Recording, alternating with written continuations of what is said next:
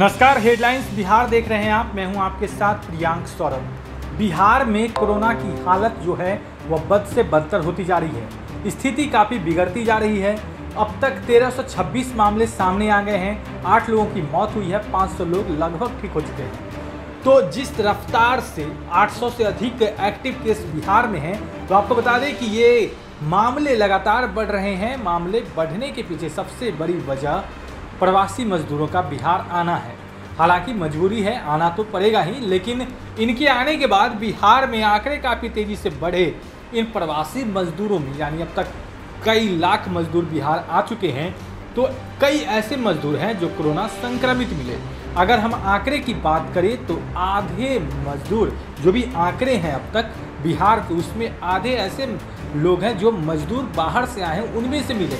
मतलब कुल छः सौ इक्यावन प्रवासी मजदूर जो बिहार लौटे हैं छः सौ इक्यावन लोग उसमें संक्रमित पाए गए एक लिस्ट बिहार स्वास्थ्य विभाग की तरफ़ से जारी किया गया है। उस लिस्ट में आप देखेंगे कि अलग अलग राज्यों से कितने लोग आए हैं, कितने लोगों के सैंपल लिए गए हैं। अब तक ग्यारह हज़ार आठ सौ लोगों के सैंपल कलेक्ट किए गए हैं, जिसमें से छः सौ इक्यावन लोग जो हैं, वह संक्रमित पाए गए हैं। आप स्क्रीन पर ये लिस्ट देखिए। आप देख सकते हैं ये बिहार सरकार की तरफ़ से, स्वास्थ्य विभाग की तरफ़ से दिया गया है, जिसमें दिल्ली से आए हुए लोगों से तेरह सैंपल कलेक्टेड किए गए हैं, कलेक्ट किए गए हैं और टेस्ट 835 का हुआ है, जिसमें पॉजिटिव 212 लोग मिले हैं, जिसमें आप देख सकते हैं 26 प्रतिशत पॉजिटिव हैं 616 निगेटिव हैं, पाँच सौ सत्ताईस पेंडिंग है मतलब 500 लोगों का आना भी बाकी है। उसी तरीके से वेस्ट बंगाल में देखेंगे, तीन सौ वहाँ से जो लोग आए हैं, उसमें से तीन सौ तिहत्तर लोगों के सैंपल लिए गए हैं, तैंतीस लोग पॉजिटिव हैं। महाराष्ट्र से दो हज़ार चौंतीस लोगों का है सिर्फ़ सैंपल लिया गया है, एक सौ इकतालीस लोग पॉजिटिव हैं।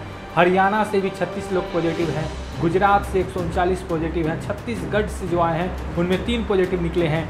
मध्य प्रदेश से पाँच लोग पॉजिटिव निकले हैं। चंडीगढ़ से दो, राजस्थान 16 तमिलनाडु दो, झारखंड तीन, उत्तर प्रदेश इक्कीस, कर्नाटका छः पंजाब तीन, केरला चार तेलंगाना छः अनस्पेसिफाइड जो है मतलब जिसके बारे में जानकारी नहीं कि कहाँ से आए हैं तो उसके लिए तेरह है, आंध्र प्रदेश से शून्य है, अरुणाचल से शून्य, असम वगैरह, इन तमाम राज्यों से शून्य है। मतलब वहाँ से जो लोग आए हैं तो अभी तक एक भी वहाँ से पॉजिटिव नहीं निकले हैं। कुछ पॉजिटिव केस जो निकले हैं तो कुछ ऐसे राज्यों से जिनके बारे में ज़िक्र नहीं किया गया है। तो टोटल सैंपल कलेक्ट किए गए हैं ग्यारह हज़ार आठ सौ, जाँच हुए हैं आठ हज़ार तीन सौ सैंतीस के अब तक छः सौ इक्यावन पॉजिटिव केस सामने आए हैं। सात हज़ार छः सौ छियालीस अभी तक निगेटिव आए हैं। उसके अलावे तीन हज़ार चार सौ तिरसठ के रिपोर्ट अभी पेंडिंग है, यानी आना है बाकी तो कुछ भी हो सकता है। तो जिस रफ्तार से बिहार में आंकड़े बढ़ रहे हैं तो समझ सकते हैं स्थिति कितनी भयावह हो गई है। आप बन रहे हेडलाइंस बिहार के साथ। अगर आपने अब तक हमारे चैनल को सब्सक्राइब नहीं किया तो जल्द सब्सक्राइब कर ले। धन्यवाद।